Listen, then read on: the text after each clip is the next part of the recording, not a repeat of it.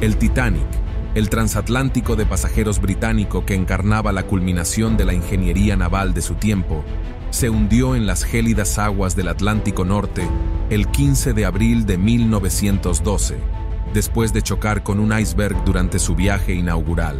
Este naufragio, una de las peores catástrofes marítimas en tiempos de paz, permaneció inalcanzable durante más de 70 años, hasta que sus restos fueron descubiertos en 1985 a unas 400 millas náuticas, unos 740 kilómetros de la costa de Terranova, en la provincia de Terranova y Labrador, Canadá. Desde entonces, las profundidades del Atlántico Norte han sido el escenario de numerosas expediciones de investigación y recuperación. Aún así, sumergirse 4.000 metros en las profundidades del océano para ver con tus propios ojos los restos del Titanic es algo que muy pocos han hecho. Reflexiona detenidamente. No es tarea sencilla adentrarse en esa profundidad. Sin embargo, para aquellos a quienes les gusta la aventura y la exploración, no importa si alcanzan la cumbre del Everest, atraviesan una jungla o viajan por el desierto. La experiencia consiste en intentarlo, aunque no siempre resulta como esperamos. En este caso, un viaje a lo profundo del mar en busca del Titanic. Uno de los actores más recientes en esta odisea es el sumergible Titán, una embarcación de alta tecnología operada por Ocean Gate, con sus 6,7 metros de longitud, sus 9,52 toneladas de peso y equipada con propulsores adosados para desplazamiento en todas las direcciones, Titán constituye un vehículo pionero en la exploración submarina. La expedición hacia el naufragio del Titanic zarpó de San Juan de Terranova el 16 de junio, a bordo del buque de investigación y expedición MV Polar Prince. La embarcación llegó al sitio de inmersión el 17 de junio, iniciando las operaciones el día siguiente a las 9 de la mañana. Durante la primera hora y media de la inmersión, el Titán mantuvo comunicación con el Polar Prince cada 15 minutos. Sin embargo, la comunicación cesó después de un registro a las 11 y 47 de la mañana. Se había previsto que el sumergible resurgiera a las 6 y 10 de la tarde. A las 6 y 35 de la tarde, las autoridades fueron notificadas del incidente. De acuerdo con el Centro de Coordinación de Rescate Conjunto de Halifax, se informó que el Titán estaba retrasado alrededor de las 9 y 13 de la noche. El 19 de junio se lanzaron misiones de búsqueda del sumergible y las cinco personas a bordo a 900 millas náuticas, unos 1.700 kilómetros de la costa de Cape Cod, Massachusetts. Hace dos años, el youtuber y actor mexicano Alan Estrada, conocido por su canal de viajes Alan por el Mundo, se sintió atraído por la oportunidad de poder ver el Titanic en el sumergible Titán.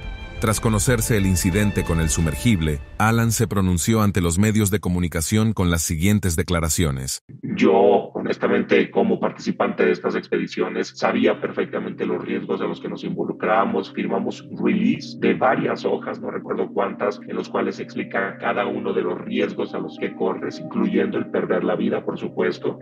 Y nosotros, quienes estamos involucrados en estas expediciones, sabemos eh, que esta es una expedición increíblemente riesgosa. Es decir, sabemos que no estamos yendo a un parque de diversión. Lo que nos pasó a nosotros es que si pierdes comunicación, hay un lapso de tiempo, de tolerancia, en el cual si esa comunicación no se recupera, sí o sí hay que abortar la misión. Lo pueden ver, de hecho, en mis videos. Nosotros perdimos comunicación más o menos a los mil, mil y tantos metros, si no me equivoco, y pasó el tiempo de tolerancia y estábamos ya abortando la misión. De hecho, arrojamos el primero de los lastres y en ese, justo en ese momento recuperamos comunicación y ya no la perdimos y fue por eso que pudimos eh, hacer el, el, el descenso. Yo personalmente espero y deseo que los encuentren. Sé que si el sumergible está intacto, ellos están con vida y están bien. Mientras haya oxígeno, van a estar bien y básicamente esperando a ser rescatados. Eh, tengo esperanza de que estén en la superficie porque eso va a, a facilitar las cosas que si están en el fondo eh, del mar.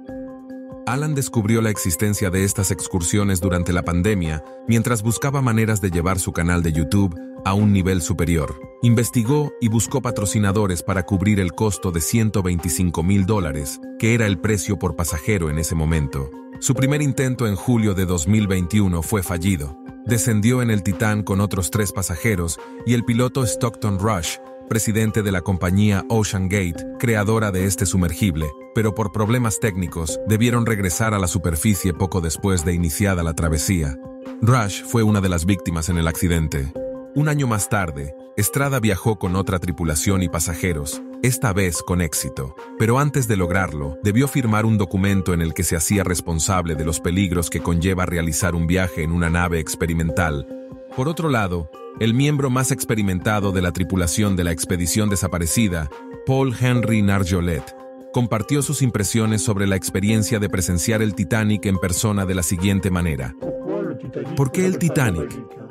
Yo creo que es una palabra mágica, porque en cuanto pronunciamos Titanic, todo el mundo tiene una reacción. Por supuesto que la película de James Cameron le dio una relevancia, pero antes ya había muchos fanáticos del Titanic. Para el público general, resulta impensable creer que en pleno año 2023 se realicen expediciones de tal magnitud sin las condiciones y equipos adecuados, poniendo en riesgo la vida de la tripulación. Pero ¿qué te parecería si te dijera que el sumergible no cumplía con todas las regulaciones necesarias? Aunque el sumergible había tenido éxito en inmersiones anteriores, existen indicios de que posiblemente no estuviera preparado para las inmersiones propuestas por Ocean Gate. El periodista David Pogg, que participó en una de las expediciones en 2022, reveló que todos los que suben a bordo del Titán deben firmar un formulario de renuncia a la responsabilidad. Este documento indica claramente que el Titán es una embarcación experimental que no ha sido aprobada ni certificada por ninguna entidad reguladora. La Marine Technology Society, una organización profesional dedicada a fomentar el conocimiento y la implementación de tecnología marina, ya había expresado en 2018 su preocupación sobre el desarrollo del sumergible Titán y la expedición planeada al Titanic. En una carta enviada a Stockton Rush, CEO de Ocean Gate, la organización destacó su preocupación unánime y sugirió que el enfoque experimental de la empresa podría tener consecuencias graves para la industria en su totalidad, desde resultados menores hasta catastróficos. A continuación, la traducción de la carta. 27 de marzo del año 2018.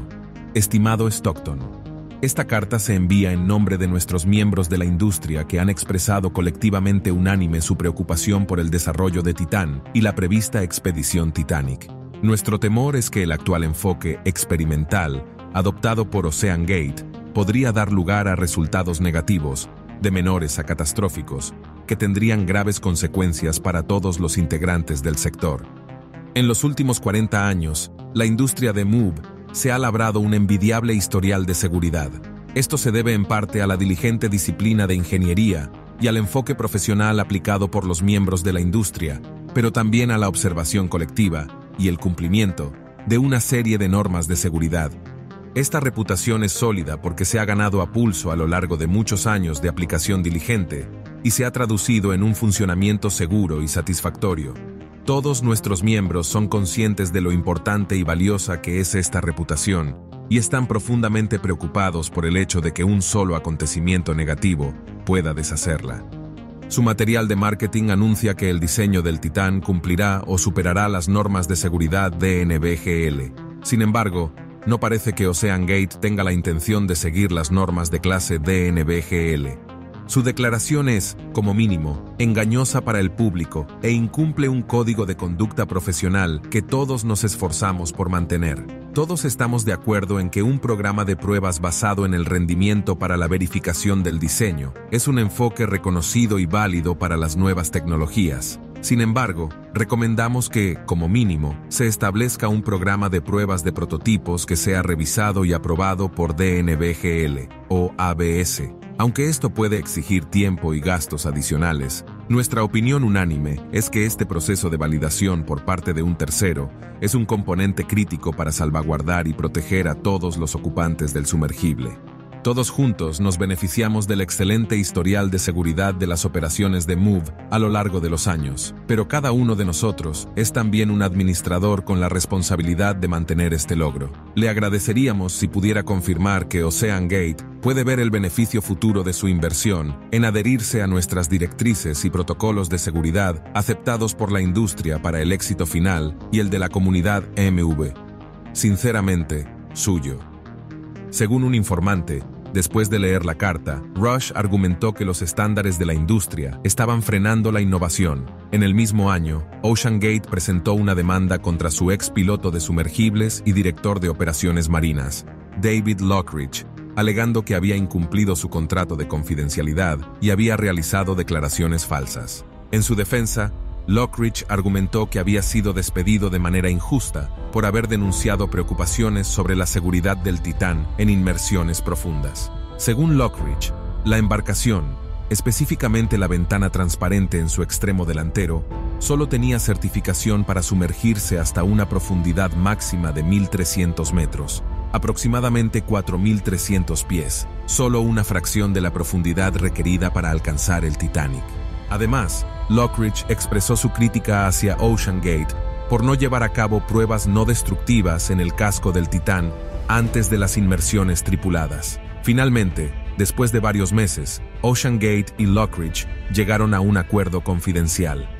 El Titán ha realizado tres expediciones al sitio del naufragio del Titanic, la primera en julio de 2021 durante una inmersión en 2022, el periodista David Pogg estaba a bordo del barco de superficie cuando se perdió la comunicación con el Titán. El reportaje de Pogg para CBS Sunday Morning, cuestionando la seguridad del Titán, se volvió viral en las redes sociales después de que el sumergible perdiera el contacto nuevamente en junio de 2023. Pogg destacó que muchas partes del submarino parecían improvisadas y resaltó el uso de un controlador de videojuegos, un Logitech F710 de 30 dólares que era usado para pilotar la nave. Durante una inmersión al Titanic en 2022, uno de los propulsores del Titán fue instalado incorrectamente y la nave empezó a girar en círculos cerca del fondo marino. Según el documental de la BBC, Take Me to Titanic, el problema fue evitado al girar el controlador de videojuegos de lado. En noviembre de 2022, documentos judiciales revelaron que en otra inmersión, el sumergible tuvo problemas con la batería y tuvo que ser conectado manualmente a una plataforma elevadora, causando daños a los componentes externos. Un ROB, un vehículo operado remotamente canadiense del barco MW Horizon Arctic, llegó al lecho marino e inició la búsqueda del sumergible desaparecido. A las 13 y 18, 1548 UTC, el sector noreste de la Guardia Costera de Estados Unidos anunció que el ROV de Horizon Arctic había encontrado un campo de escombros cerca del naufragio del Titanic, programándose una conferencia de prensa para las 16 y 30 horas, 19 UTC. Posteriormente, se confirmó que los escombros encontrados pertenecían al sumergible. La Guardia Costera de Estados Unidos habría confirmado la pérdida del sumergible debido a la implosión de la cámara de presión. Los restos del Titán se encontrarían en el lecho marino, a una distancia aproximada de 488 metros de la proa del Titanic. La Guardia Costera sugirió entonces que la implosión de la cápsula a presión probablemente ocurrió mientras el sumergible atravesaba la columna de agua y que dicha implosión que duró aproximadamente 40 milisegundos, probablemente tuvo lugar antes del inicio de las operaciones de rescate, ya que las boyas de sonar altamente sensibles no detectaron ninguna señal acústica indicativa de una implosión durante su despliegue. Horas después, se informó públicamente que un sistema acústico de la Armada estadounidense había detectado una anomalía sonora el domingo 18 de junio, el día en que comenzó la inmersión. Probablemente se trató del sonido de la implosión submarina del Titán, información que se compartió desde el principio con las autoridades encargadas de la misión de rescate. Cuando se produce una falla y hundimiento de una estructura de alta presión, como un submarino o un sumergible, se genera un sonido característico. La presión del agua circundante provoca una compresión rápida del aire dentro de la embarcación, creando una onda de choque que puede ser detectada por sensores acústicos.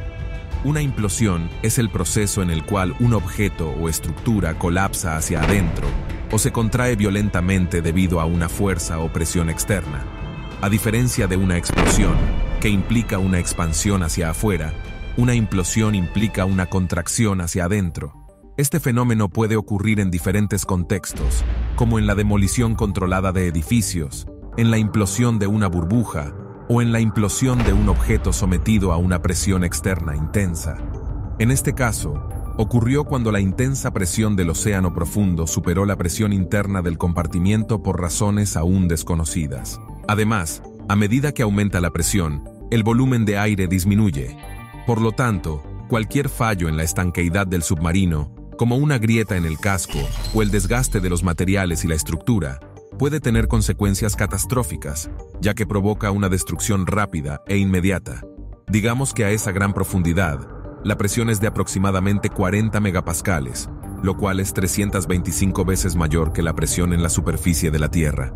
Para contextualizar, eso es similar a soportar 4.000 toneladas por metro cuadrado. Mirándolo desde otro punto de vista, es como si la yema de tu dedo, que tiene un tamaño de un centímetro cuadrado, tuviera que soportar una carga de 400 kilos.